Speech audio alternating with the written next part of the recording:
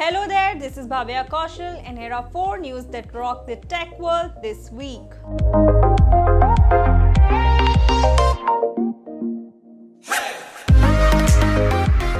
Mi Express kiosks are all set to come to India. Xiaomi announced that these kiosks are vending machines that will allow users to purchase Xiaomi smartphones and mobile accessories at a location near them.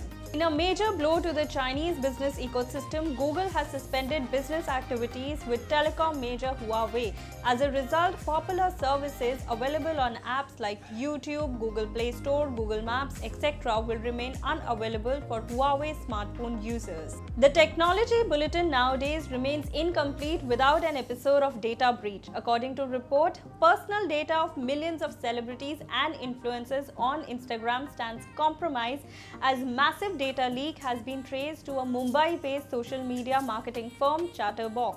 Everyone nowadays wants to experiment with artificial intelligence and make it a part of their ecosystem. Social media giant Facebook has published three papers on how it will use robots to advance in the field of artificial intelligence.